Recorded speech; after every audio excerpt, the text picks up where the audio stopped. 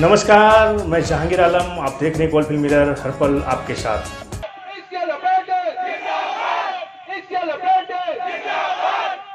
भाई हाथ को उठाओ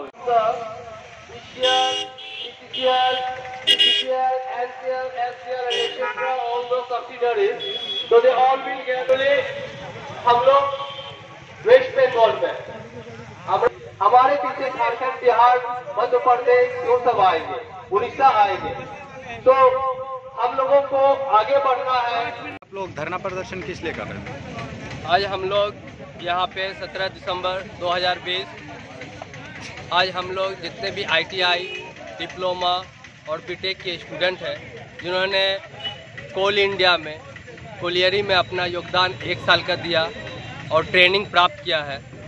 और इस कोरोना काल में हम लोगों को सर्टिफिकेट तो दे दिया गया है किस चीज़ का ट्रेनिंग आप लोग किए हम लोगों का कोलियरी में कोल इंडिया में electrical mechanical mining mine survey welder जितने भी ये ट्रेड हैं इनका हम लोगों को ट्रेनिंग दिया गया था और ट्रेनिंग के पश्चात हम लोगों को सर्टिफिकेट भी दिया गया। लेकिन अभी इस कोरोना काल में हमें कहीं जॉब नहीं मिल रहा है और कोलियरी में इतने वैकेंसियाँ हैं इतने लोग रिटायर हो चुके हैं कि नई नई पद्धति से प्राइवेटेशन करके उन लोगों को लिया जा रहा है। तो सरकार से हमारी मांग है ईस्टर्न कोलफील्ड लिमिटेड से, कि हम लोगों को, वो रिक्त स्थान को पूर्ण करने के लिए हम लोगों की बहाली की जाए।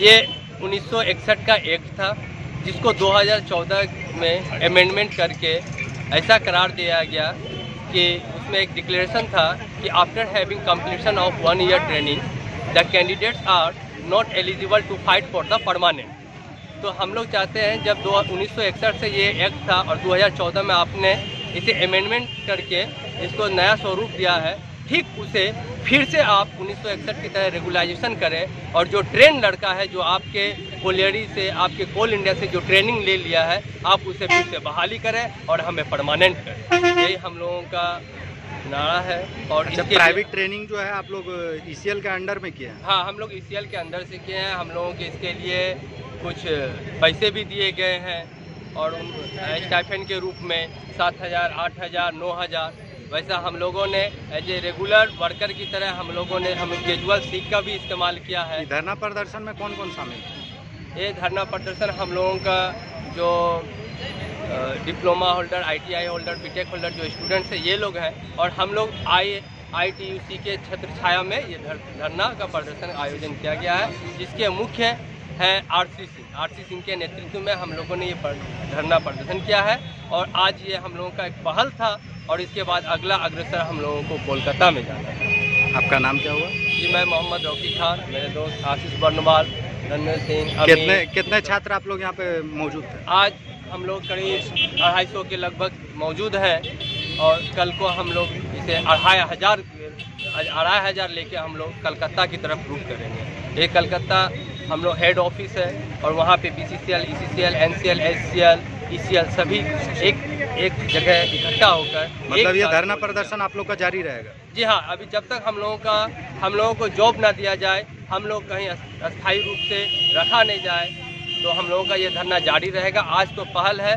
अब जितनी लंबी लड़ाई लड़नी है गवर्नमेंट से हम लोग लड़ेंगे और अपने हक के लिए लड़ रहे हैं। जब आपने हमें ट्रेंड किया है, जब आपने हमें सर्टिफिकेट दिया है तो उस सर्टिफिकेट का हमें इस्तेमाल करने दीजिए और अपने कोल इंडिया में हमें शामिल करके कोल इंडिया का नाम रोशन इधर से हाँ इधर से हाँ तो तुमको ही मिलेगा मम्मा नीचे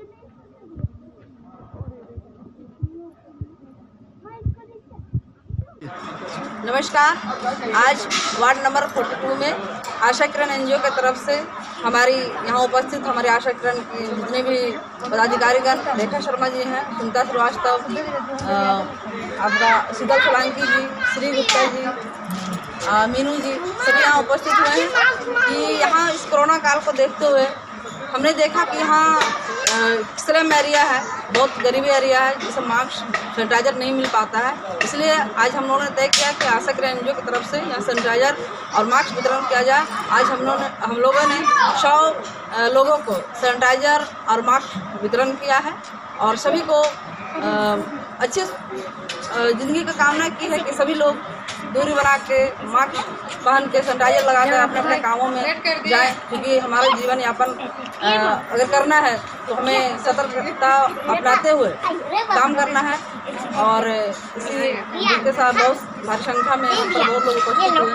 सभी ने कहा कि बहुत ही अच्छा कार्य किए हैं और हमारा आप सबों से भी अनुरोध है कि हमारा एनजीओ आशाकरण जो भी गरीब तबके के लोग हैं, जो बहुत ही निम्न लोग हैं, जो गरीबी में जी रहे जैसे बच्चे, गरीब बच्चे जो पढ़ाई पैसे का अभाव में पढ़ाई नहीं कर पाते, किताब कॉपी नहीं मिल पाता है।